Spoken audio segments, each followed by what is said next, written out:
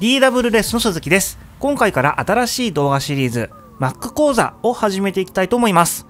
タイトル通りの内容ではあるんですけれども Mac を使う上で知っておきたい基礎知識から知っているとさらに便利に活用できる応用的な Tips までこれから Mac を使い始めるよという方だけでなくてすでに Mac 使ってるよという方にも見ていただけるような内容にしていきたいと思っていますもちろん音楽制作であったり DAW、DTM ユーザー向けの使いこなし術なんていうのも紹介していきたいと思っていますのでぜひご覧いただければと思います。しばらくは MacOS の基本の部分を中心に紹介していきたいと思うんですけれども初回となる今回は Dock について見ていきたいと思います。今回紹介する Dock というのは何かと言いますと Mac を起動すると画面の下側に今このように出ていますけれどもこのエリアのことです。つまり Mac にインストールされているアプリケーション例えば Safari とかメールなんかを素早く起動するためのショートカットを使うことができるエリアということになります。ドック内のアイコンをクリックすることによってアプリケーションを開くことができます。今は Safari を開いてみました。ここでドックに注目してみましょう。今 Safari のアイコンの下に黒い丸がついているのがわかると思います。つまり今どのようなアプリケーションが起動しているのかなんていうものを一目で確認することができるわけです。逆に画面を閉じてしまうとこの黒丸も消えてくると。このようにアプリをドックに登録することによって素早く開くことができますのでよく使うアプリはドックの中に登録しておくと便利です。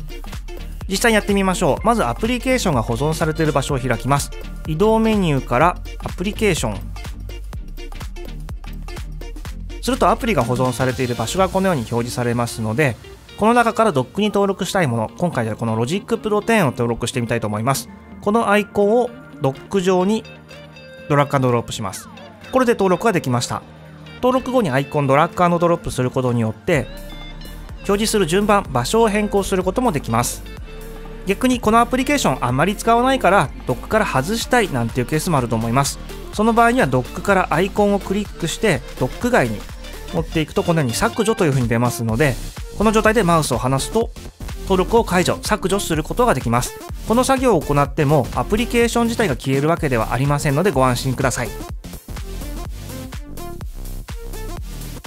もう一回登録したい場合にはアプリケーションから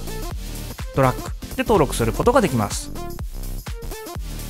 ここでドックを改めて見てみると3つのエリアに分かれていることが分かります。まず一番左側のエリアですね。ここは今までご紹介してきたように登録したアプリを起動する表示させるための場所です。また2つ目のエリアここはドックに登録されていないんだけれども最近起動したよというアプリケーションが表示されます。例えばそうですねじゃあこの中に表示されていない計算機のアプリこれを起動したとします。するとこの中に表示されるよと。計算機アプリを終了してもここにアイコンが残っています。ですので最近使ったアプリまた使いたいななんていう場合にはここから選択していただくと簡単です。そして一番右のエリアここはフォルダを登録するためのエリアになっています。デフォルトで今ダウンロードフォルダのショートカットが割り当てられていますけれども例えばこのアプリケーションフォルダこれをドラッグドロップすることによってここにアプリケーションを登録することもできます。ここに登録しておけばフォルダにすぐアクセスすることができますのでこれも非常に便利かと思います。ということで Mac 講座第1回目今回は Doc の基本について紹介してみました。